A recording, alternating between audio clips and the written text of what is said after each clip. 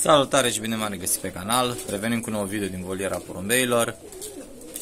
Am început curățenia de toamnă, am curățat complet voliera, boxe plus ce era pe jos. Acum, după cum se poate observa, e curat, mai trebuie să adaug nisip. Și am terminat cu totul. Le-am uh, dat uh, o a doua masă de de bun venit, să spun așa, porumbeilor, plus uh, niște vitamine, all in one de la Versele Laga, la care am mai adăugat uh, o pungă de un kilogram sau două, nu mai știu sigur, de calciu vitaminizat uh, pentru porumbei și de ajută mult acum în perioada asta de, de năpârlire. Uitați cum mănâncă. Cam așa arată. Păsările se prezintă foarte bine. Încă năpârlesc foarte tare, nu au finalizat năpârlitul. Mai durează, cred că încă o lună. Până vor vor termina de aruncat penele. Așa. Noutăți. Avem la o pereche de linie nouă la Guta și Grizzly pe galben au iar o și le au bune, ca de fiecare dată, bineînțeles. Acum uh, îi voi lăsa, îi voi lăsa și pe ei să scoată, pentru că nu mă încurcă și la fiecare serie au avut câte un pui, cel puțin un pui care să mă surprindă. Plăcut. Așa, la indieni încep lucrurile să decurgă mai bine. Aici și ultimul pui care avea vărsat mai mult așa s-a curățat de vărsat. Deci e ok. Avem uh, ei acum mănâncă, sunt la hrănitoare. Avem uh, din seria de pui anterioară la indieni, avem un pui kite ăsta de aici, ăsta de aici așa, un pui kite și mai avem un bălțat în spate. Acela cu încălțăturile albe. Din uh, spatele almondului. Mă rog, o să-l filmez. Când uh, mă duc mai în față. Așa. Acum au iară pui părinților. Ambele perechi. O pereche au pui de câteva zile și o pereche are doar un pui și acela este almond, ceea ce mă bucură foarte tare pentru că ar fi primul pui almond la indien de anul acesta, ținând cont că am patru mascule almonzi. Așa. E bine. Și la ceilalți indieni avem uh, o bune la două perechi. O perechi consider eu că sunt limpezi, dar nu, nu știu exact când le-au ouat. Vom vedea săptămâna viitoare. A, uitați aici, o femeluță. Deci asta neagră e mama, grizzly pe negru. Și cea care a intrat la mâncare, de era în spatele ei, fică. Sper să iasă femela aia. Nu știu cum va avea coada pentru că i-am tuns coada din cauza vărsatului și era foarte mică pe coadă, dar uh, corpul dacă e ok, coada se reglează avem cu ce regla. Ia uitați, aici uh, am făcut zona de filmat. Așa, am încercat să filmăm câteva păsări. Ia uitați aici almond. Superb. Un almond care va rămâne și anul următor. Așa. Ia uitați-l pe ăsta, vine că știe o să urce pe pe găleată. Sunt învățați mai o găleată la fel aici înăuntru. Iar să vedem. Și, uitați ce v-am zis. Și se bagă în ea, că nu are capac și mănâncă de acolo. Aleg uh, bobițele mai bune. Floarea, mazărea. Uitați aici grizzly. Super bun. Un pui de anul acesta. Cred că va ieși mascul un pui care mai mult ca sigur va rămâne superb îmi place mult. Avem uh, câteva schimbări, să spunem așa, la ei uh, și pe volieră și la păsări. Am uh, câțiva pui care am crezut că sunt femele masculi și s-au dovedit a fi invers, deoarece au început să se împericheze. Se, se arată masculii. Au început masculii să se arate bine. Aici, ia stați că ne ridicăm. Op, așa. Așa. Aici, puiul ăsta gut. Am considerat că este femelă, dar uh, astăzi făcea destul de urât prin volieră. Cred că totuși va fi mascul. Aia e. Am uh, scos toate fețele de boxă. Nu am mai lăsat nimic. Asta e grada de care spuneam. Așa. Și aici. Una singură este, doar pentru a ține alea protejate. Aici jucătorii au doi pui. Sunt măricei. Bine, la ăștia mereu dezvoltă bine. Uitați aici. Schimbare radicală la acest mascul.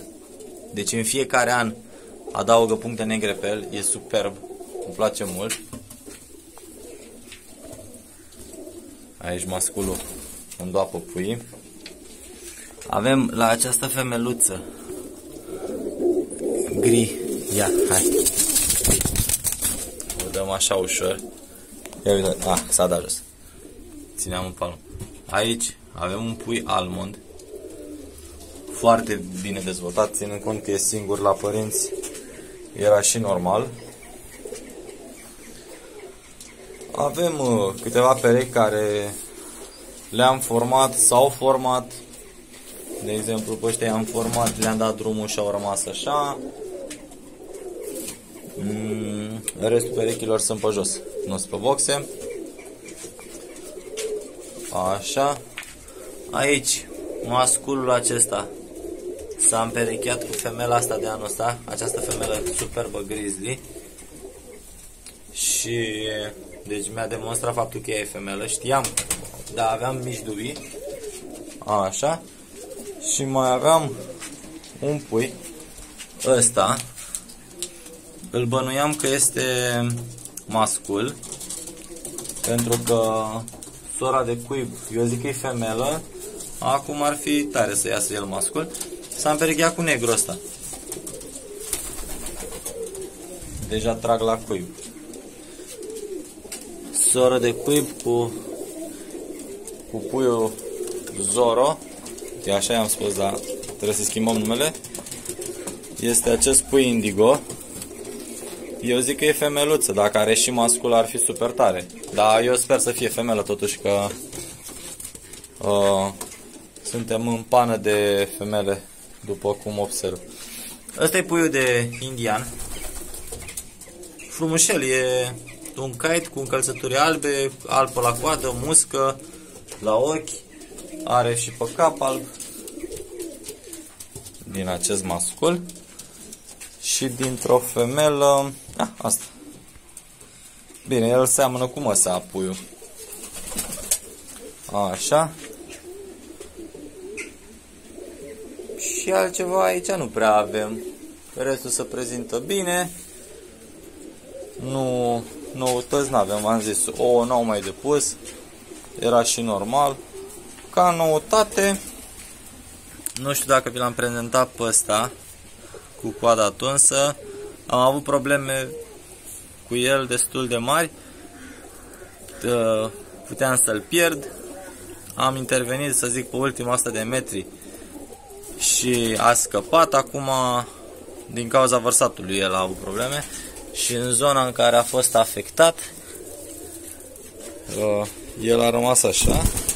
Dar acum a început să-i dea penele, să-i crească. Ceea ce e foarte, foarte bine.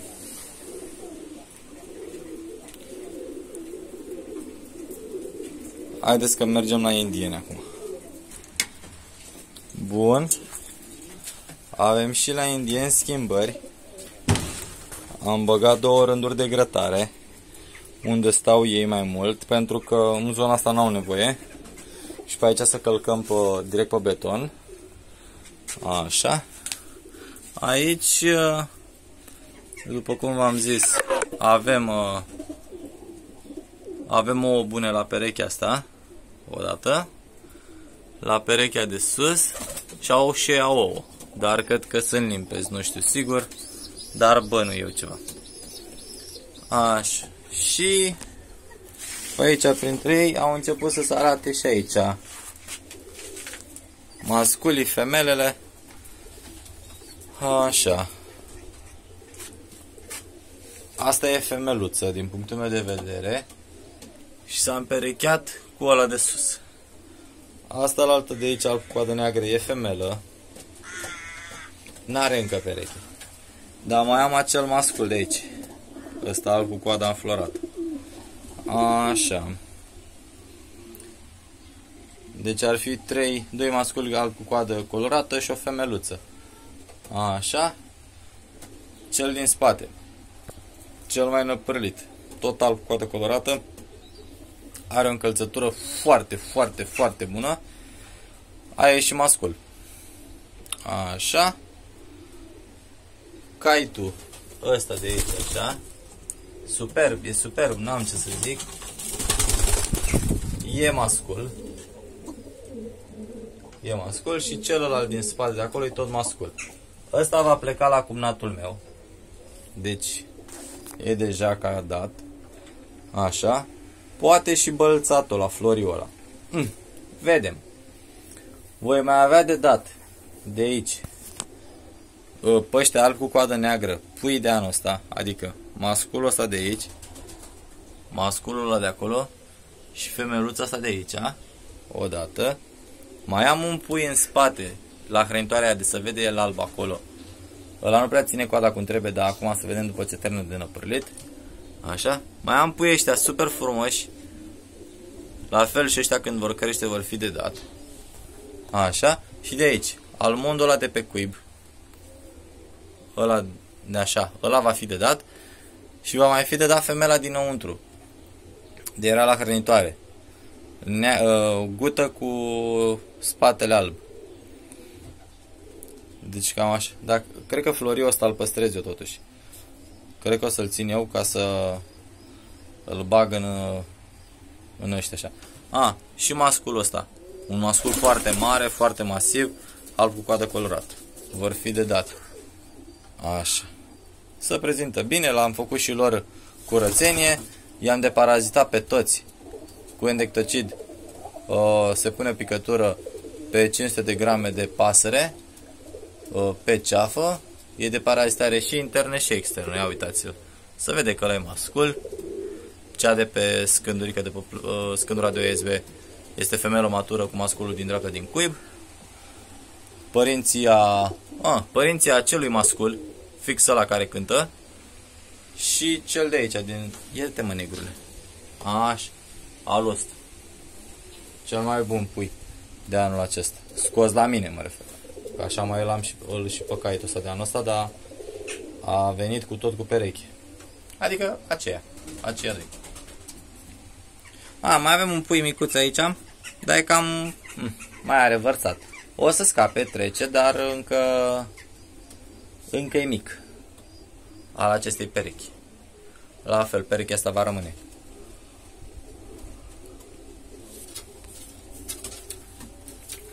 Da, cam atât uh, pentru astăzi. Astea sunt schimbările, modificările pe care le-am uh, reușit face într-un timp destul de scurt. Până data viitoare, vă doresc numai bine. Pa, pa!